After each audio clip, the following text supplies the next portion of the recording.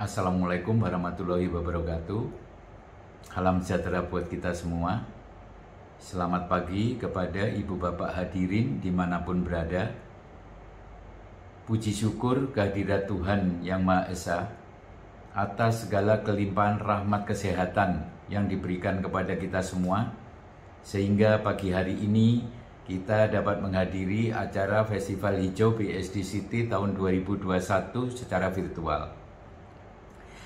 Yang terhormat Bapak Bupati Tangerang, Bapak Ahmed Jaki Iskandar Bibus, yang terhormat Bapak Wali Kota Tangerang Selatan, Bapak Dr. Andes Haji Binyamin Dafni, yang terhormat Kepala Dinas Lingkungan Hidup Kabupaten Tangerang, Bapak Dr. Andes Haji Ahmad Taufik, yang terhormat Kepala Dinas Lingkungan Hidup Tangerang Selatan, Bapak Dr. Andes Haji Toto Sudarto MSI, yang terhormat para pimpinan Sinar Maslen, yang terhormat para narasumber CSR Lingkungan Program Bina Kampung, Bapak Dr. Sri Wahyuno SSI MSI beserta tim Pusat Teknologi Lingkungan BPPT, Bapak Supendi Akbar SPD Bapak Insinyur Setia Sandi SEMM, Bapak Luhur Irfan SP, yang terhormat warga Kampung Mantul, Dadap Timur, Tangerang Selatan, dan warga Kampung Mantul, Rancakebu, Kabupaten Tangerang, serta para peserta Festival Hijau BSD ke-18 yang saya hormati. Selamat bergabung dalam acara Festival Hijau BSD City ke-18. Bapak Bupati Tangerang dan Bapak Wali Kota Tangerang Selatan serta para kepala dinas lingkungan hidup yang saya hormati. Dalam rangka mengapresiasi Hari Lingkungan Hidup Sedunia yang jatuh setiap tanggal 5 Juni dan sebagai bentuk tanggung jawab sosial perusahaan pada lingkungan, CSR Sinar Maslen melalui PT Bumi Serpong Damai TBK menyelenggarakan kegiatan Festival Hijau BSD ke-18. Tahun ini tema yang diusung adalah Ayo bangun lingkungan yang bersih, sehat, dan berdaya di masa pandemi. Kegiatan ini bertujuan untuk mengajak masyarakat untuk mau dan mampu beradaptasi di masa pandemi, yaitu dengan menciptakan lingkungan yang bersih, sehat, dan berdaya. Sehubungan dengan acara tersebut, izinkan saya melaporkan serangkaian kegiatan lingkungan yang telah kami selenggarakan yang dimulai dengan webinar nasional pada tanggal 8 Juni 2021 dengan tema pengelolaan sampah berbasis masyarakat untuk mewujudkan kampung yang bersih dan hijau.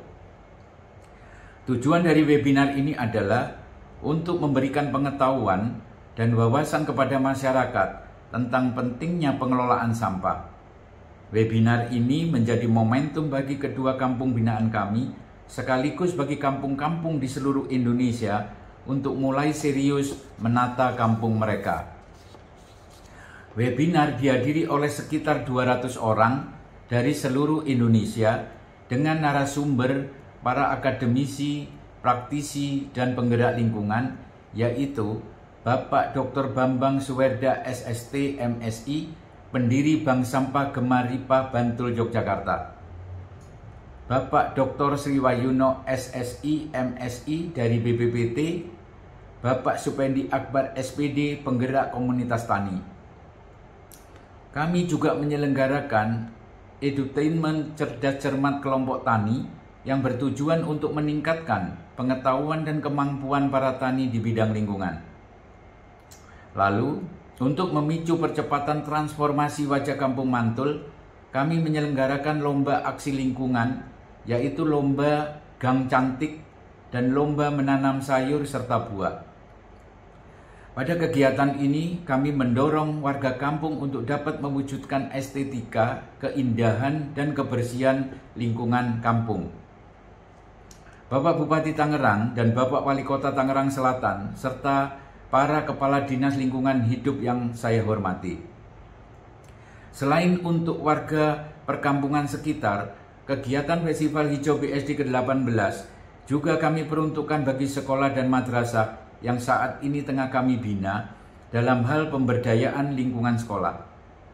Kami membantu madrasah dan sekolah pinggiran yang memiliki keterbatasan fisik lingkungan untuk dapat mempersiapkan lingkungan sekolah mereka melalui penyelenggaraan sanitasi sehat dan pemanfaatan lahan tak terpakai menjadi taman sekolah. Pada tanggal 8 Juli 2021 akan diselenggarakan seremonial puncak acara Festival Hijau BSD ke-18 secara virtual untuk seluruh masyarakat Indonesia dengan menampilkan tayangan-tayangan yang menarik dari seluruh kegiatan lingkungan yang telah kami lakukan. Dalam kesempatan ini, kami akan mengukuhkan komunitas kelompok tani, duta sanitasi sekolah, dan duta taman sekolah yang menjadi output dari penyelenggaraan kegiatan Festival Hijau ini. Demikian laporan kegiatan CSR bidar lingkungan yang dapat kami sampaikan melalui acara Festival Hijau BSD ke-18. Semoga kontribusi kami ini dapat bermanfaat bagi masyarakat luas dan dapat mendukung program-program pemerintah dalam memberdayakan lingkungan. Terima kasih. Wassalamualaikum warahmatullahi wabarakatuh. Salam sehat sejahtera selalu buat kita semua.